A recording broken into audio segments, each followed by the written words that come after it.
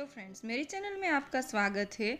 मुंबई की जंगली सैंडविच से भी बहुत ही ज़्यादा टेस्टी इंदौर की जंगली सैंडविच एक बार आप बनाओगे ना तो बार बार घर वालों की रिक्वेस्ट आएगी यही सैंडविच बनाने के लिए।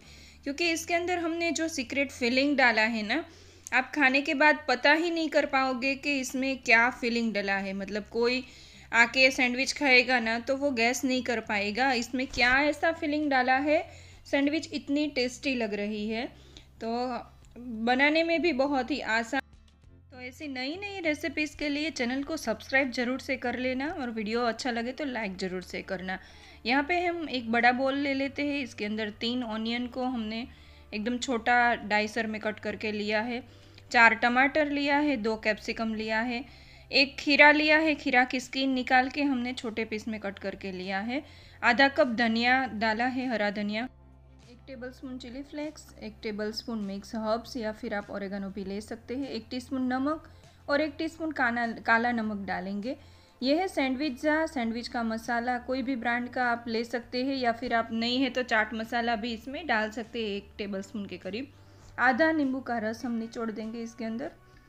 तो ये मसाला हमें लास्ट में बनाना है, एकदम फ्रेश रहे, इसका पानी कम छूटे। इसी तरह से मसाला बना के तैयार करना है। हल्के हाथ से अच्छे से मिक्स कर लेना है।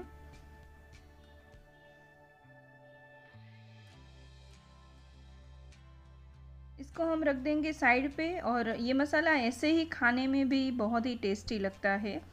तो सैंडविच में आने के बाद तो टेस्ट आएगा ही।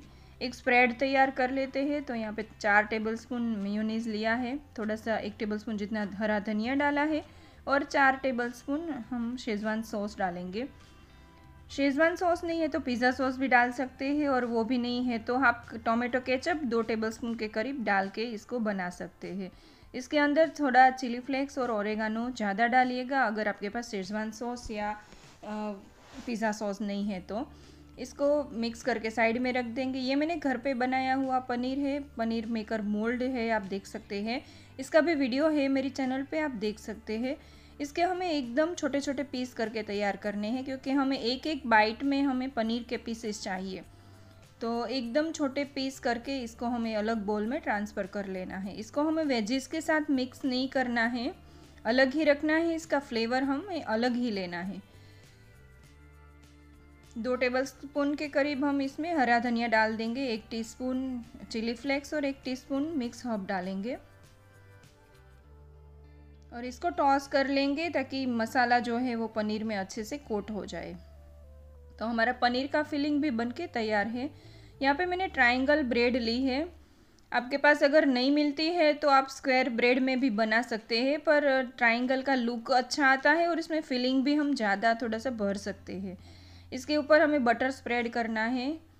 यहाँ पे मैंने घर का ही मक्खन लिया है, पर बटर को हमें अच्छे से स्प्रेड करना है ताकि जो बटर का लेयर आ जाए ना तो वेजिटेबल का और चटनी का जो पानी निकलता है ना, वो सैंडविच की ब्रेड के ऊपर नहीं जाएगा और ब्रेड है वो सॉगी नहीं हो जाएगी सैंडविच एकदम क्रिस्पी रहेगी।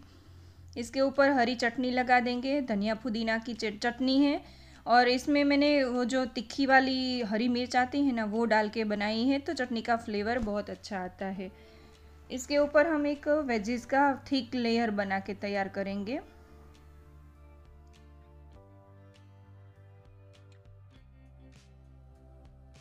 जनरली क्या होता है? पनीर वगैरह सब वेजिस के अंदर ही डाल देते हैं।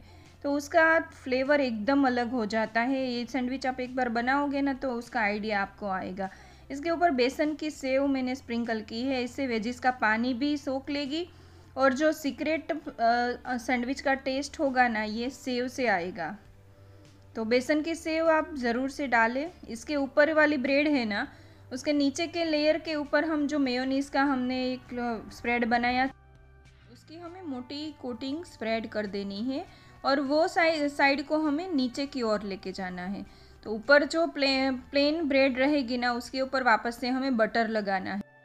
ये बात का खास ध्यान रखें, जो मेयोनी स्प्रेड वाली ब्रेड है ना, वो नीचे की साइड रहेगी और बीच में रहेगी और एक ही ब्रेड में हमें मेयोनीस का स्प्रेड लगाना है। दूसरी दोनों ब्रेड के ऊपर हमें बटर और चटनी लगाना है ताकि ब्रेड हमारी सौगी भी नहीं होगी और ऊपर की और नीचे की जो ब्रेड की लेयर है वो एकदम क्रिस्पी हो जाएगी।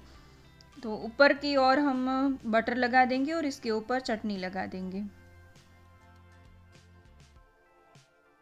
इसके ऊपर हमने जो छोटे छोटे पीस में पनीर को कट किया था वो फिलिंग डाल देंगे।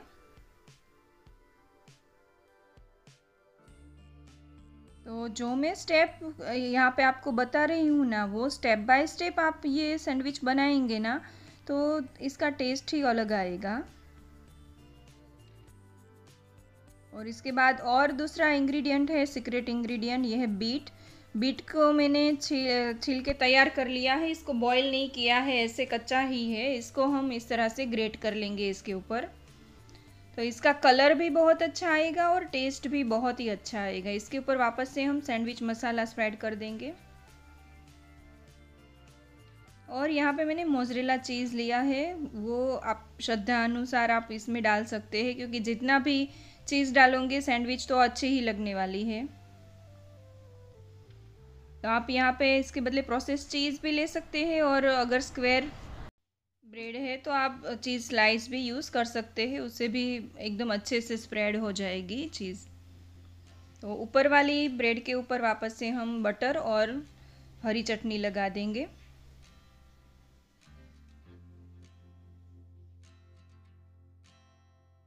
हमारी सैंडविच असेंबल हो गई है।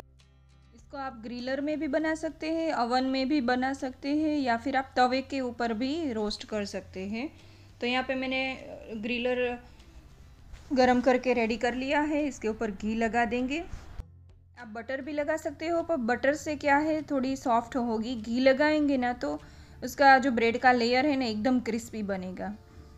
तो सैंडविच रख देंगे और ऊपर के लेयर पे भी हम घी से स्प्रेड कर देंगे।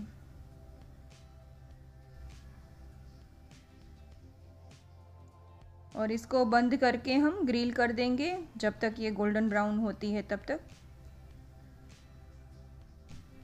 तो हमारी इंदौरी जंगली सैंडविच बन के तैयार है। एकदम परफेक्ट बनी है, बहुत ही टेस्टी बनी है। इसके ऊपर अभी हम ऊपर से थोड़ा सा चीज़ स्प्रेड कर देंगे। थोड़ी सी सेव और थोड़े से वेजेस डाल देंगे। बहुत ही बढ़िया इंदौरी सैंडविच बन के तैयार है। एक बार आप ज़रूर से ट्राई करें, क्योंकि जब भी ये सैंडविच खाई ना हस्बैंड और बच्चों ने तो मुझे यही बोला कि आज तक इतनी टेस्टी सैंडविच घर पे भी नहीं खाई, बाहर भी नहीं खाई, इतनी टेस्टी सैंडविच बनी है। मुंबई में यहाँ पे हमारे पार्ला एरिया में लकी सैंडविच बहुत फ़ेमस है तो उससे भी ज़्यादा टेस्टी ये सैंडविच बनती है तो थैंक यू फॉर वॉचिंग